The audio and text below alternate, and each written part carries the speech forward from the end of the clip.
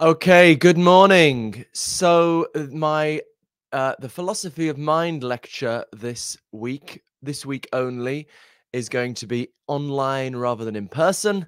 Unfortunately, I'm terrible with technology, so I spent an hour yesterday thinking I was recording it, only to find I was actually talking to mm. myself.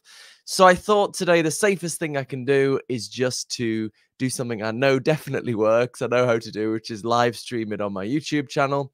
So that's what I'm going to do.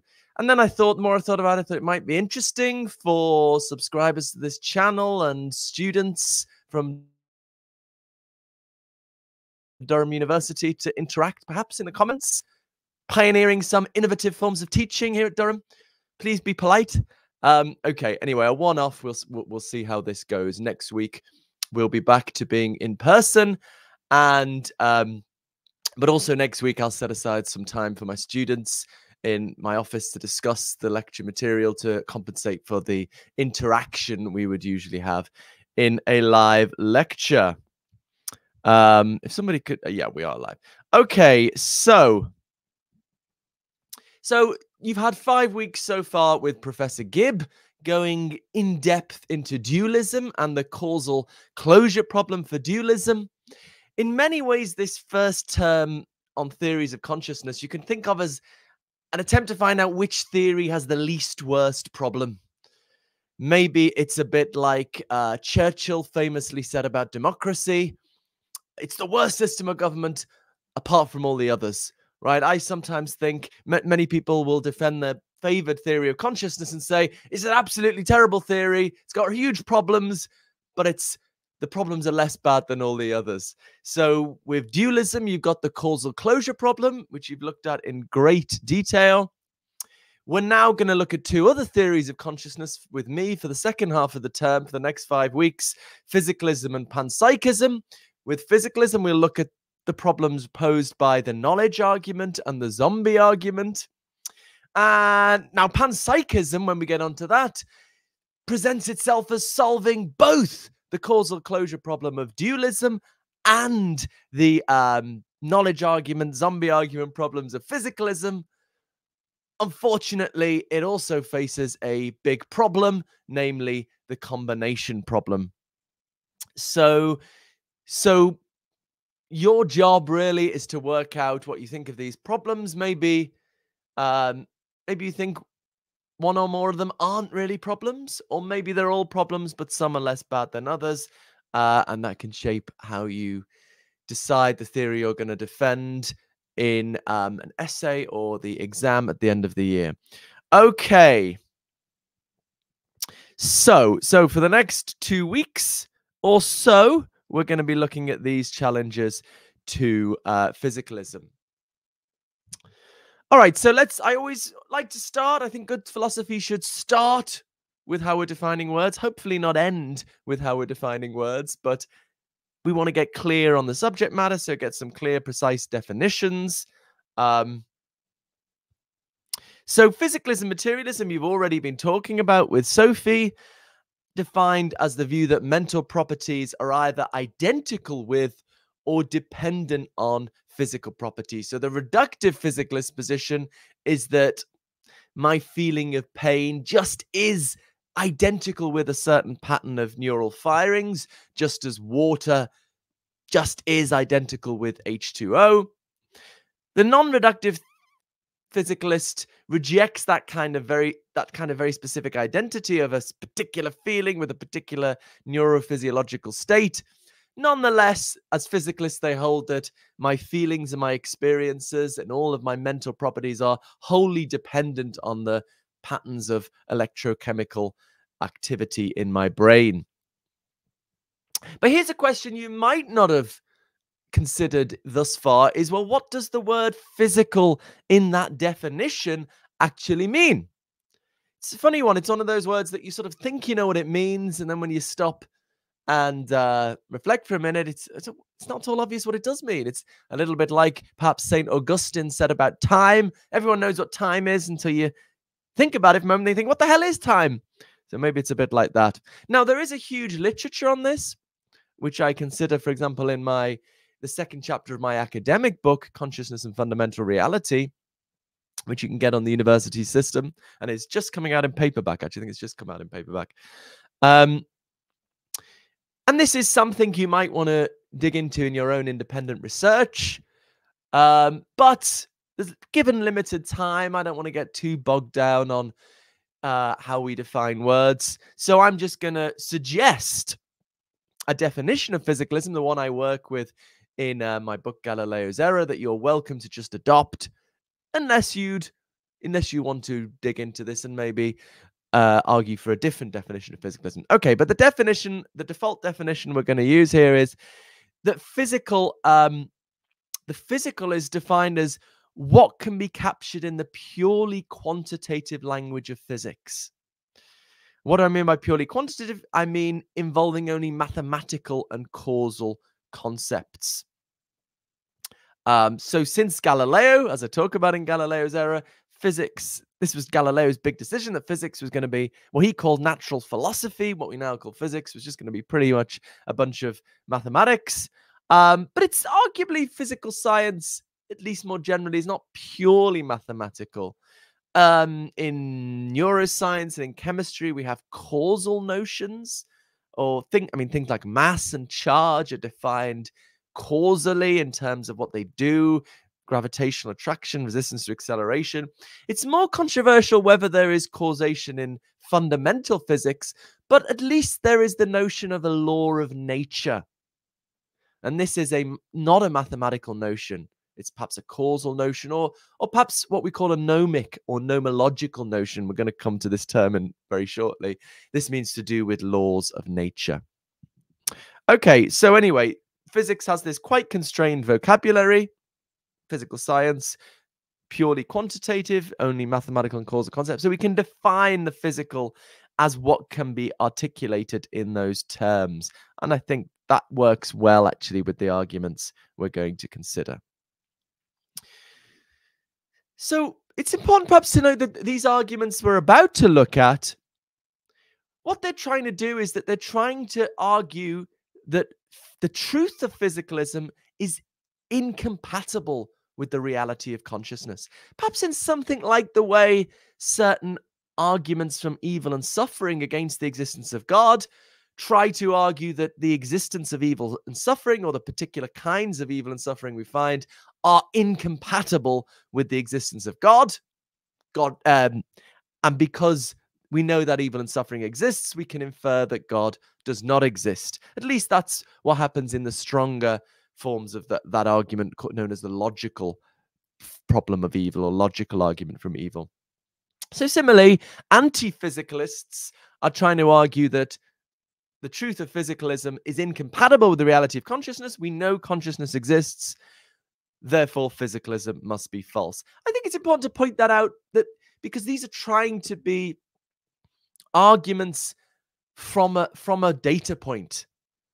They're trying to draw out what they take to be the implications of that data point, namely the reality of consciousness, this real, arguably real phenomenon we are acquainted with, of our own feelings and experiences.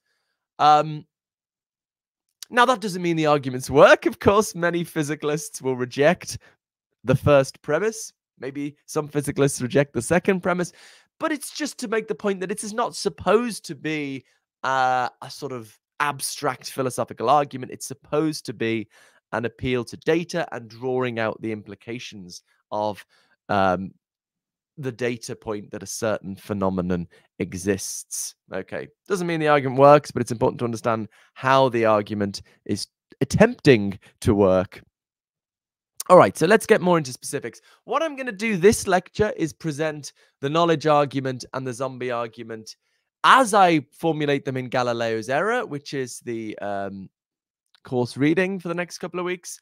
Um, but that is a book aimed at a general audience. I hope it's a good introduction to to these arguments and to get you initially thinking about them to shape discussion in your seminar discussion groups. Um, but ultimately, we want to get more into the details of the um, academic presentation and discussion of these arguments, which is hinted at in footnotes in Galileo's error, but which is more fully worked out in, for example, my academic book, Consciousness and Fundamental Reality, also in um, obviously many, many other works by anti physicalists like David Chalmers, also the response from various physicalists that we will explore. So this week we'll look at the more accessible formulation of the argument, and then next week we'll dig a bit deeper. Um, if so, someone want to quickly comment that that I am live, just so I know I'm not talking to myself. Um, okay, so let's get more specific. Let's start with the knowledge argument. This is formulated by the Australian philosopher Frank Jackson, um, who is a wonderful philosopher, also a very nice person. I had the fortune of uh, interacting with him a lot when I was a postdoc at the Australian National University where he works. If people don't know what a postdoc is, it's if when you finish your PhD before you get a teaching job. So if you're lucky enough, you can have a job for a year or two where you um, just are able to focus on writing and trying to get some things published. Um, so Frank Jackson uh, formulated this argument in the 80s. Now, what is interesting, although this is one of the most discussed challenges to physicalism in contemporary philosophy, um, Jackson actually ultimately changed his mind on it in the 1990s and is now a quite radical kind of physicalist, amazingly. Um, so, anyway, that doesn't mean the argument doesn't work. Doesn't mean it does work, but it's a little interesting tidbit. Uh, okay, so the nice thing about this argument is that it begins with a story. So if you're sitting comfortably, I will tell that story. It's the tale of black and white Mary. Um, just let me know if we are live, if if if, if someone gets a chance. Okay. So here's the setup. Mary is a genius neuroscientist. She's, in fact, she's so brilliant. Her expertise is in color experience, and she's so brilliant. She knows everything neuroscience has to teach us about what goes on in the um, in the brain when we experience colors. So when particular wavelengths of light hit the eyes, how they make changes in the brain, how that leads to various information processing, um, and how that ultimately results in certain kinds of behavior. She knows all that stuff. Oh, Alistair Boyers just said you are live. Thank you very much, Alistair. Um, I'm not talking to myself. Sorry, just so frustrating that I talked to myself for an hour yesterday. okay, um, so so she's this absolute genius, and she's got maybe it's said in the future. She's got the complete final story. Neuroscience has to tell us about the um, neuroscience of color experience, but for some reason that is never explained, She's raised in a black and white room, so Mary has only ever seen black and white and shades of grey. Okay, now there are all sorts of issues one might have about the plausibility of this story. Has Mary never bled and seen her own blood? Uh, her own blood, her own blood. Um, the idea is she's learned physics from a black and white television and black and white books, but there are all sorts of understandable troubles my one might have about this. This is why I'm one thing I suggest in Galileo's error is actually the story. You don't need such a far fetched story, perhaps. And I talk about the case of the the late uh, Scandinavian color scientist Knut Nordby, who had cones missing from his eyes and so was, as a result, only able to see black and white and shades of grey. Maybe the closest we've had to a uh, real life Mary. And Knut Nordby was interested in philosophy and these philosophical discussions. So he wrote on what it was like um, for him thinking about these questions as something like a real life Mary. And you can you can look at that in Galileo's error. Okay, but this this is not the end of the story. Um, the, there's a twist, right? The climax of the story Again, it's not explained why, but Mary is liberated from her black and white prison. The door is flung open, And Mary sees, let's say, on the threshold, a bright red rose on the threshold of her prison. She escapes into the world around us with all the beautiful colors and has all these wonderful new experiences. And then the thought is the thought is of the proponent of this argument not only does she have these new color experiences but as she have has them and in having them she learns something new. Mary gains some new knowledge. What is that knowledge? It's allegedly what it's like to see red. What mary learns is what it's like to see red. The thought is despite all she knew about from her brain science and neuro- neurophysiological studies, that information couldn't teach us what it's like to see red, the qualitative character of a red experience. This is what she discovers only when she actually experiences color. All right, that's the story. Now, I've taught this argument for nearly 20 years now. And I've discovered that many people get the argument a bit wrong. I don't know whether it's maybe because it's a kind of catchy story and you think, oh, I get it, I get the story. Um, but it's always important in philosophy, and this is one of the things you're being graded on is that you get not just the gist, but the details of the argument, right? I recently debated the um, physicist Sean Carroll. You can look at that on YouTube, also on this channel, actually. And um, I, I said to gasps from the audience he wouldn't get a good grade on my course because he misunderstood the knowledge argument. Um, but I mean, to be fair, Sean is um, like certain scientists I won't mention. It, is pretty clued up on philosophy and has um, takes philosophy very seriously. But this is actually just a, a very common issue. So what people what people often think is that people often think the argument's supposed to be this Mary learnt all this neuroscience, and yet she still couldn't experience red. If materialism were true, surely reading the neuroscience would allow you to experience red. Now, that would be a terrible argument, right? Of course. Of course, Knut Nordby's not going to experience red, uh, you know, just from reading neuroscience. You know, he's got the cones missing in his eyes. But the ability to experience red depends on what's going on in your brain. It's only when Mary leaves the room, the light hits her eyes, it makes the brain. That's when she experiences red. Of course, everyone agrees on that, right? That's that is not the challenge. Nobody disputes that. You know, it's no reason to think a materialist will be committed to reading neuroscience lets you experience color. You know, why would you think that, right? That that's that's not the argument whether you can experience color depends, as everybody agrees on what's going on in your brain. That's not the argument. This is the argument, right? The clue is in the title knowledge argument, right? The point is the claim of proponents of this argument is not just that Mary only has experiences when she leaves the room, but that she gains new knowledge new information. She learns something new. Why is that important? Well, because if, according to physicalism,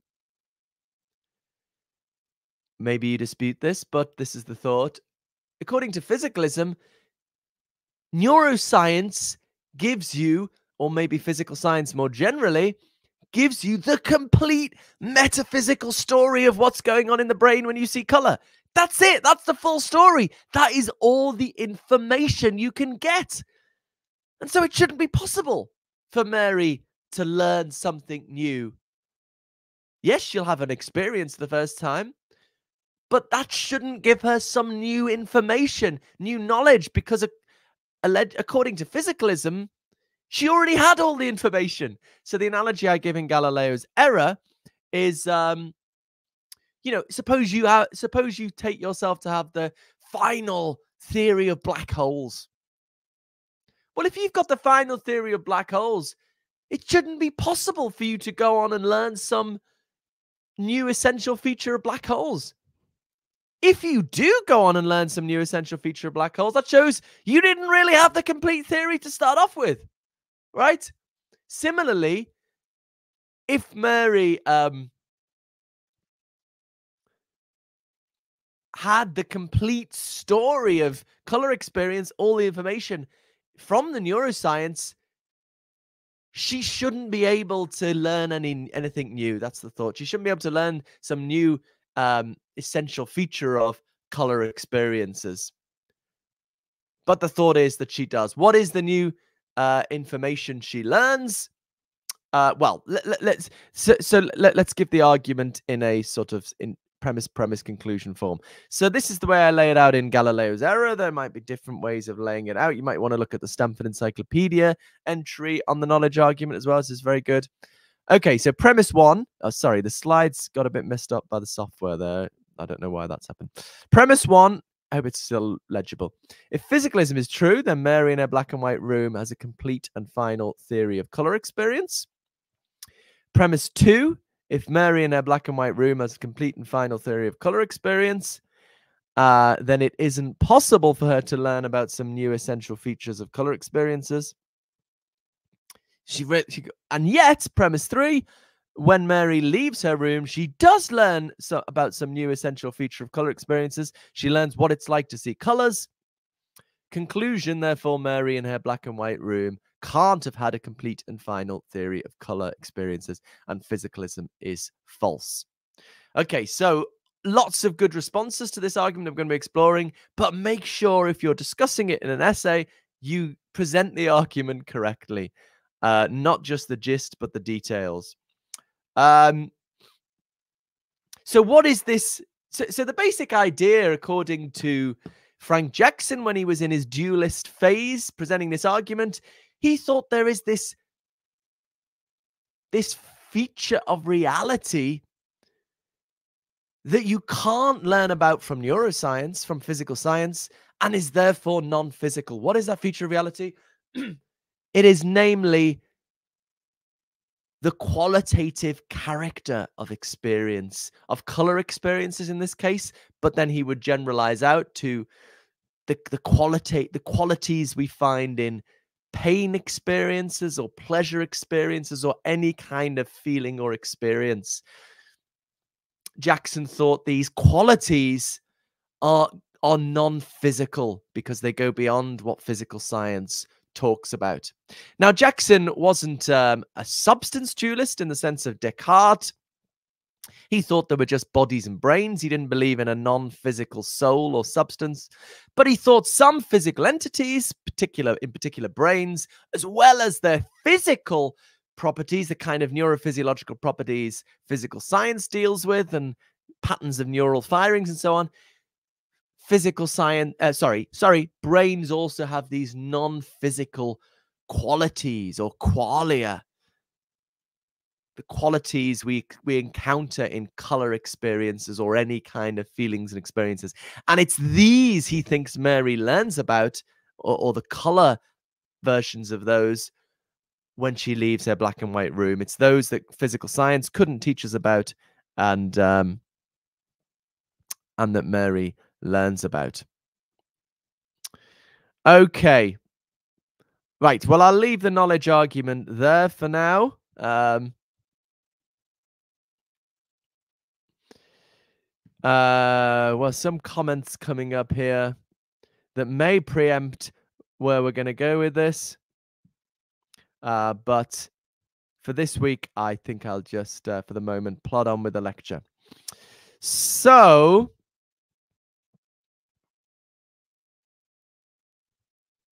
let's move on to the zombie argument.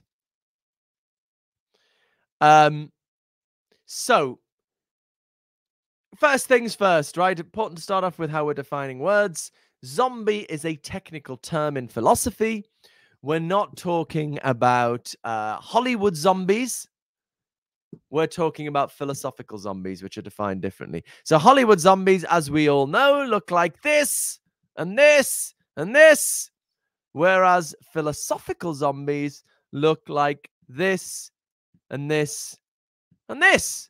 In other words, they look just like you or I. Not only do they look like ordinary people, but they walk and talk and behave in all ways just like ordinary people. And the reason they do is because the physical workings of their bodies and their brains are just like that of a normal human being, of a real human being. But there's a crucial difference. A zombie is not conscious. There's nothing that it's like to be a zombie. So you stick a knife in a zombie, they'll scream and run away, but they don't actually feel pain. If the zombie's crossing the road, they'll stop, look carefully both ways, carefully cross the road, but they don't actually have any visual or auditory experience of the world around them. The lights are on, but nobody's home. Okay, so the definition of a physical of, of, a philosophical zombie is it's a physical duplicate of a human being, but which has no conscious feelings or experiences. Now, you might think, why are we talking about this nonsense? First thing to note is nobody thinks zombies are real. Like that's not the point of. Actually, I think there is one philosopher who thinks everyone is a zombie, but then somebody was another philosopher was pressing this these arguments on me in a bar recently that try to show that we should all think everyone else is zombies and not just the skeptical arguments. But anyway in general philosophers aren't saying these things really exist. In the first instance the interest is that they seem to be logically possible. In the sense that there's no contradiction or incoherence in the idea of a philosophical zombie so the word that's often used here in the literature is conceivability. I hate that word because it always makes everyone think it's just about what what you can imagine, and that might be tied, you know, to contingent facts about human psychology. But that's not really what what what is what is what we're after here. It's it's more a notion of logical coherence. What you could, what couldn't be ruled out just through reasoning a priori. Um, so I, I prefer to use the word logical possibility, although you need to be aware the word conceivability is used a lot in, in the literature.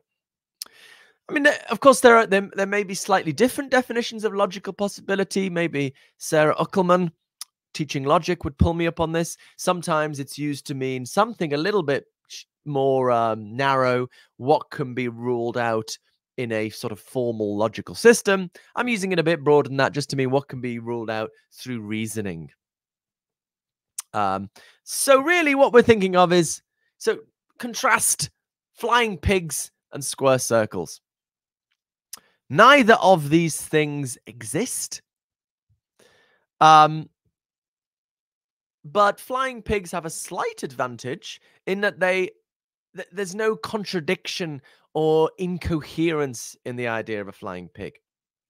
You can't rule out a flying pig just through reasoning, sitting in your armchair. You have to go out and look at the world to know there are no flying pigs, at least on our planet. In contrast, square circles are just logically incoherent. The very idea involves a contradiction. And so you can know just by sitting in your armchair, startling fact, as I discuss in Galileo's error, you can know that nowhere in the whole universe, all of space and time, are there any square circles because they're just flatly incoherent.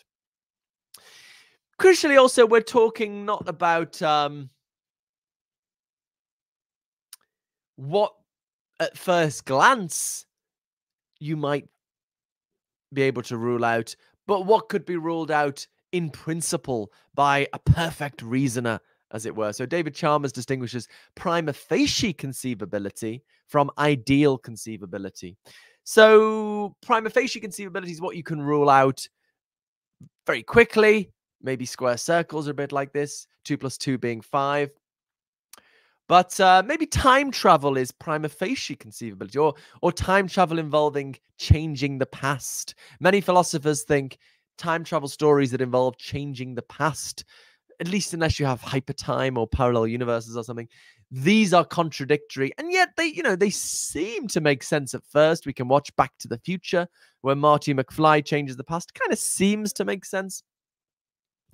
Um but many philosophers would say when you really think about it it it, it, it turns out to be contradictory. Really what we're interested in is ideal conceivability, what you think. Unlimited reasoning could rule out.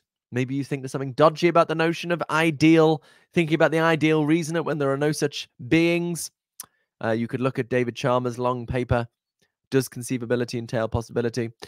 But in any case, that's what we're after. We're thinking, are zombies more like flying pigs or more like square circles? Are they the kind of thing you can rule out just by reasoning because they have some kind of subtle or unsubtle contradiction?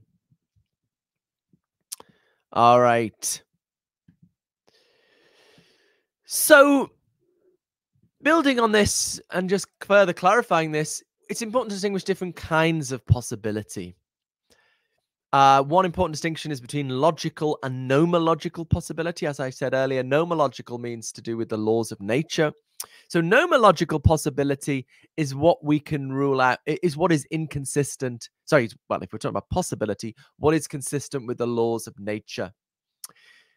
So maybe, maybe, maybe um, flying pigs are nomologically impossible because of, because of the strength of gravity in our universe, because of the mass of pigs, maybe flying pigs are impossible.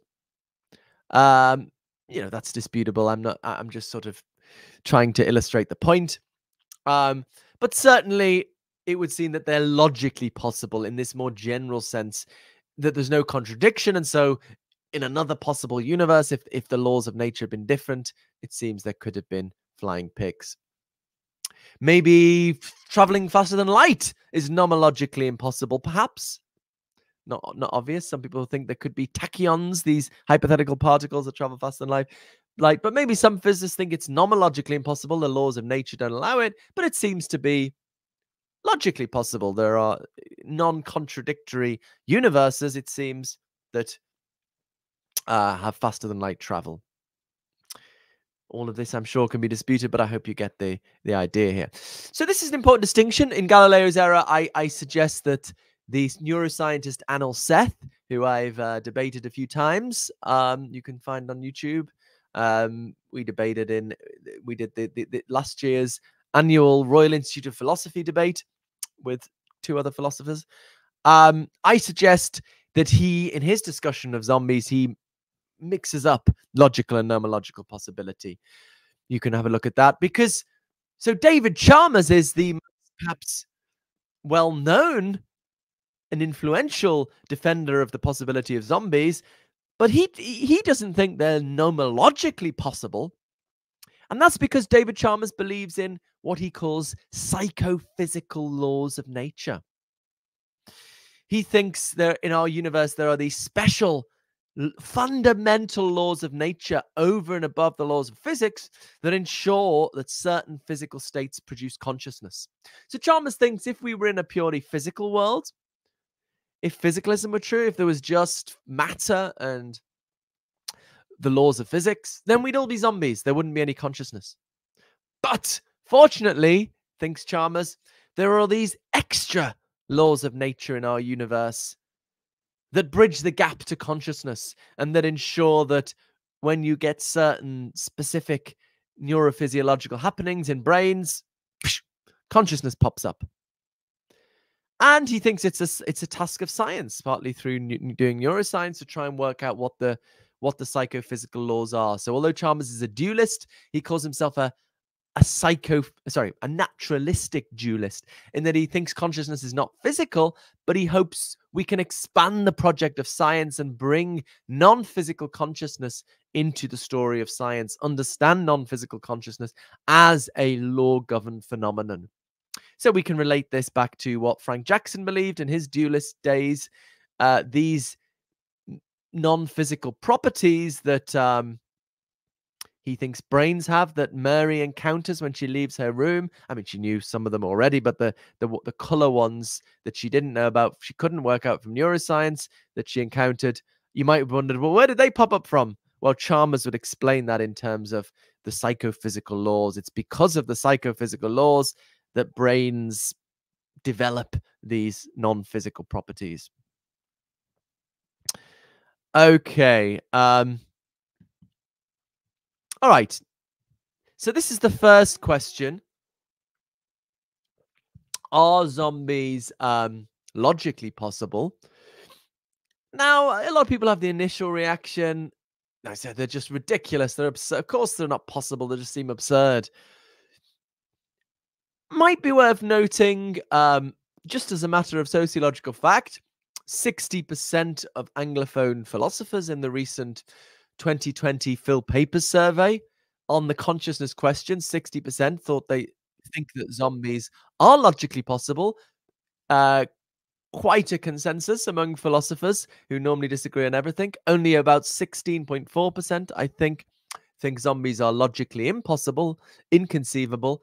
Um, now, this is not a popularity contest, and you're very welcome. Many good philosophers do think zombies are logically impossible, uh, and you're welcome to defend that. But it might at least give one a little bit of pause for thought if 60% of the relevant experts who've sort of read all the literature, had their views scrutinized by peer review and in talks and so on, um, have reached that view.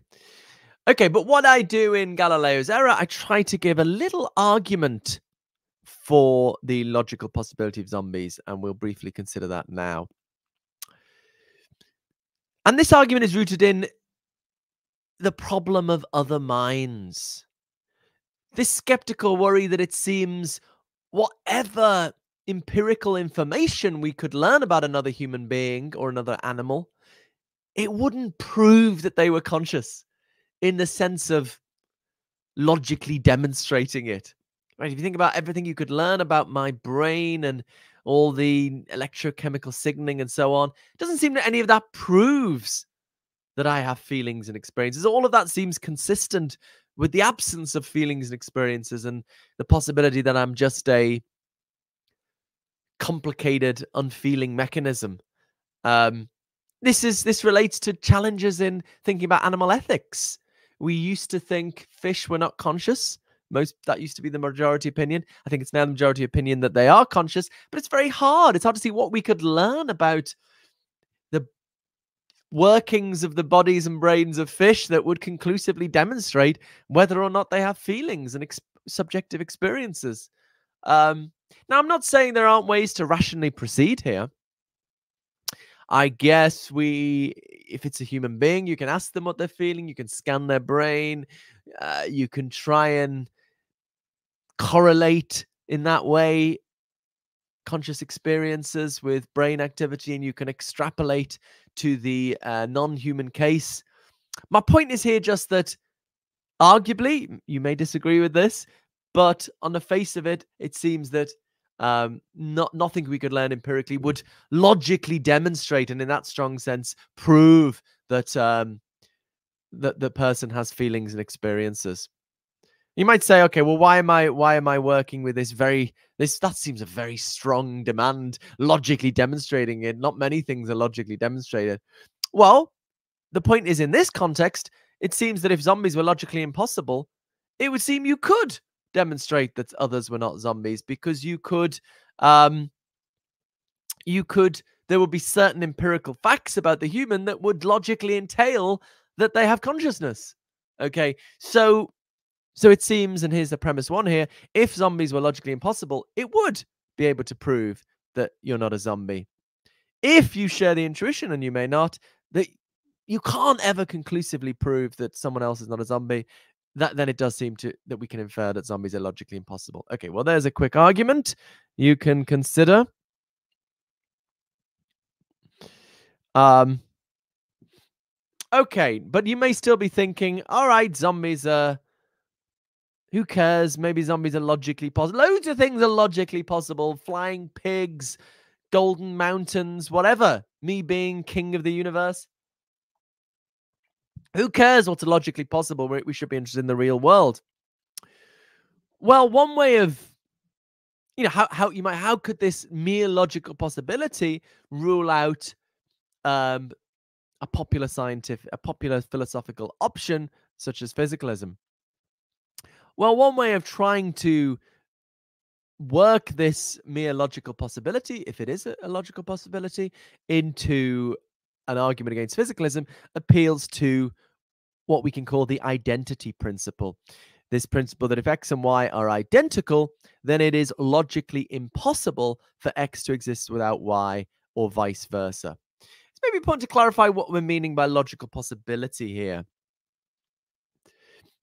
Uh, sorry, I, I, didn't mean to say that. It may be important to clarify what we're meaning by identity here. What we're meaning is what is sometimes more specifically called numerical identity, where X and Y are one and the same thing. So take the example of Superman and Clark Kent. Superman is identical to Clark Kent in the sense that there aren't two people. There's just one person with two labels. One person that sometimes flies around with a cape and sometimes wears glasses and works as a reporter for the Daily Planet. But that's just the same person, right? Unbeknownst to many people, but that's the reality. So because it's just one person, um, well, anyway, maybe we'll get onto that. So this contrasts with, for example, qualitative identity. In, for example, when you have when we talk of identical twins, it's not that Bill and Ben, the identical twins, are the same person. It's just that they're perfectly resembling. Of course, they're never perfectly resembling. We could imagine clones, or we to get more sci-fi, you could have um, you know, mirror universes where everything on one side of the universe perfectly mirrors what happens on the other side of the universe. Uh, so then you would have perfect resemblance or qualitative identity, perhaps.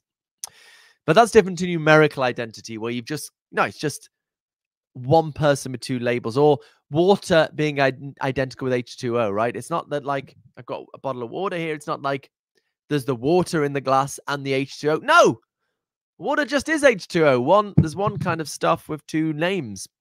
One is the sort of the everyday name for it, and one is the more scientifically revealing name, but it's just two terms for the same thing.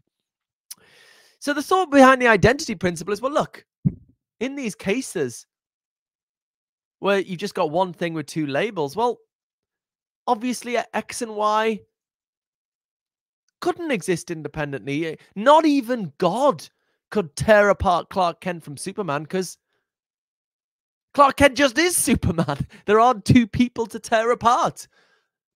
Now, there are possible universes where um, that one person doesn't fly around with a cape. There are possible universes where that one person doesn't wear glasses and work for the Daily Planet. But that's that's not arguably that's not a possible world where Clark Kent isn't Superman because Clark Kent just is Superman. That's a possible world where this one person who we refer to in these two ways behaves differently, has different properties. Similarly, not even God, you might think, could tear apart the water in this bottle from the H2O because water just is H2O. Um, there aren't two things to tear apart.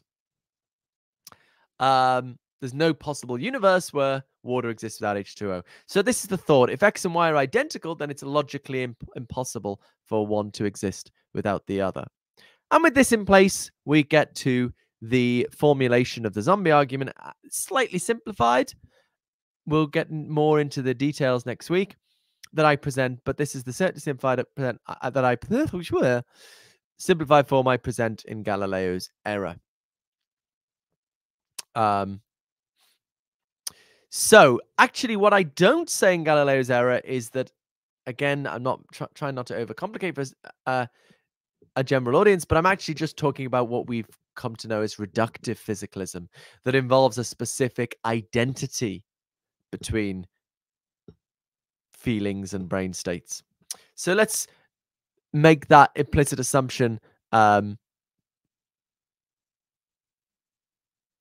let's make that explicit assumption, implicit assumption explicit now. And here's the argument. So if reductive physicalism is true, then feelings are identical with brain states. If feelings are identical with brain states, then it's not logically possible for feelings to exist without brain states or vice versa. That follows from the identity principle. Um, if zombies are logically possible, then it is logically possible for brain states to exist without without feelings. By definition of a zombie, that's just what a zombie is. Um, a zombie has all of the brain states a human being has, but none of the feelings. That's just what a zombie is. So when a when you stick a knife in a zombie, it has the brain states a human has when they feel pain, but it doesn't actually feel pain. Therefore, if zombies are logically possible, so sorry, is logically possible, physicalism is false. Zombies are logically possible. We could support that with the earlier slide. Therefore, reductive physicalism is false. Okay, so this is just an argument against reductive physicalism. We can um digital gnosis is uh really again some people in the comments in the same way i can conceive of brains not being phenomenal states epistemically similarly i can do the same thing with water and h2o my imagination is not a guide to anything useful. Well this perhaps preempts uh, the the deeper discussion of this we're going to get into next week. Um um also well just a slight qualification on that again this is not about imagination right this is maybe we're misled by this word conceivability. What we're talking about here is not what human beings can imagine, but what any possible reason, ideal reasoners, the perfect reasoners could rule out just through reasoning. Uh, so that's not limited to contingent human psychology. Now, you might well think this is a dodgy notion of the ideal reasoner. That's something one could pursue, but just to be clear about that. But yes, there are um, ways we could uh, further challenge and lead into a, a, a more nuanced form of this argument. But um, okay, well, just I'll make one one one more point here. So, as I said, this is aimed only at reductive physicalism, but actually, it's quite easy to expand it. I think to more general forms of physicalism. So, what about non reductive physicalists who think mental properties are not specifically identical with specific neurophysiological properties, but are just are dependent on physical properties, are dependent on what's going on in my brain? Well, whilst non reductive physicalists don't identif- identify mental properties with physical properties, specific neurophysiological properties, most of them I, I, would say perhaps all of them in my almost all of them at least in my experience you may find some exceptions do identify mental properties with functional properties of some kind. What are functional properties? Okay very important word functional here. Functional properties are defined are properties that are defined in terms of behavior both external behavior sensory inputs and behavioral outputs but also internal behavior uh, behavior of the parts inside of the brain and behavioral dispositions, how things are disposed to behave. Um, we might say, for example, that the, the vase is disposed is fragile in the sense that it's disposed to break. Uh, even if it never breaks in its whole existence, we can still talk about how it's disposed to behave. So, I mean, his, historically, um, people started off thinking about behaviorism. If we could define mental states just in terms of outwards behavior, inputs and outputs, uh, defining pain in terms of you know getting stabbed and screaming. People quickly realize that that's too simplistic. We need we, we need to talk about internal behavior as well as external behavior and about behavioral dispositions dispositions to behave as well as just actual behavior. But still and this leads to the position known as functionalism rather than behaviorism which is still trying to define mental states purely in behavioral terms but it's this more nuanced sense of behavior, both internal and external, both dispositional as well as explicit actual behavior. Um, so most physicalists um, who are not reductive physicalists are functionalists in some very general sense. So we can simply say, um, so even if they don't identify, so non-reductives are not going to identify mental states with physical states, but they are likely to identify them with functional properties. And therefore, we can just slightly modify the argument so that it's aimed at physicalism more generally. If physicalism is true, then feelings are ident uh, sorry, that should be are identical, not and identical, are identical with brain states or functional properties. If feelings are identical with brain states, sorry, that should say or functional properties slash functional properties, then it's not logically possible for feelings to exist without brain states slash functional properties or vice versa. Again, follows from the uh, identity principle. Uh, if zombies are logically possible, then it's logically sorry. If zombies log- it's logically possible for brain state slash functional properties to exist without feelings. Therefore, if zombies are logically possible, physicalism is false. Uh, zombies are logically possible, therefore physicalism is false. Okay, so that's the initial introduction to the argument. Next week, um, we will delve more deeply into um, challenges to this argument, which leads to the more nuanced form that you actually find in the academic literature, defended, for example, by me in Consciousness and Fundamental Reality, or David Chalmers, for example, in his paper, The Two Dimensional Argument Against Materialism, and of course, the responses that contemporary physicalists give to that. But hopefully, that should be enough to uh, get you going on discussing your initial thoughts on these arguments. And I will arrange for some time to interact on this next week. Um, also, if you are subscribed, premium subscribers to the channel, to the Mind Chat community, uh, there will be a dis- hour some point to discuss this um, or anything else later this month. I'm in discussion with those people. Um, thank you for listening. Whoever you are, maybe students and subscribers would like to interact in the comments. Please be polite. Um, I wonder how this will go. This you can all praise me in the feedback for my pioneering teaching methods. Okay. Um, well, I'll leave it there for now, and I will see you in person next week. Thank you very much for listening. Bye bye. How do I stop this?